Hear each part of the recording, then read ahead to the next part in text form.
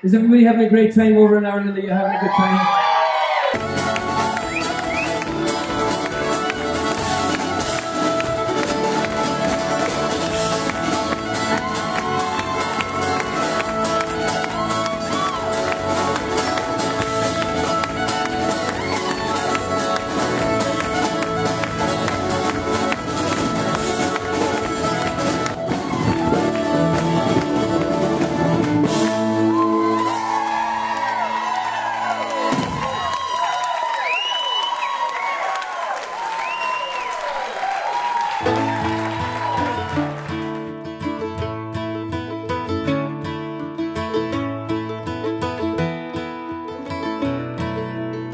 This is a boy I walked by yesterday in Killarney and said, oh man, that is an Irish little boy.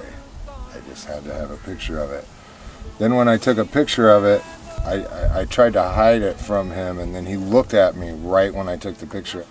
And then um, when I looked at the photo, I was like, this has to be a painting.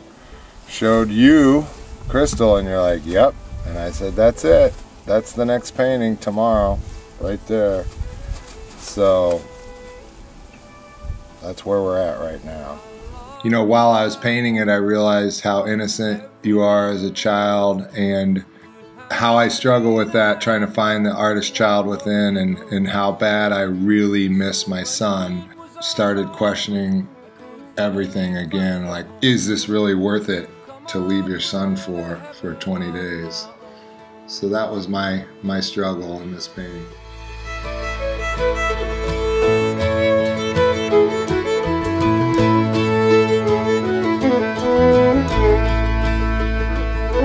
I lost my heaven, so I went to see the man who could do me a favor and me his plan.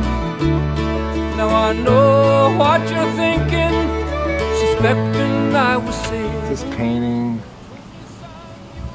even though I didn't even talk to this kid last night, I talked to a young boy, and that's that's where I receive my uh, inspiration is other through other people. I mean, obviously places too, but the people are what connects my like heart to my my my inspiration. So what could I do with this thing I had to be?